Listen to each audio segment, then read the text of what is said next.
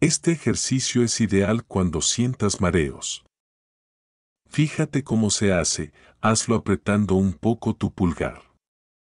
Ponlo en práctica ahora mismo para que puedas hacerlo bien después.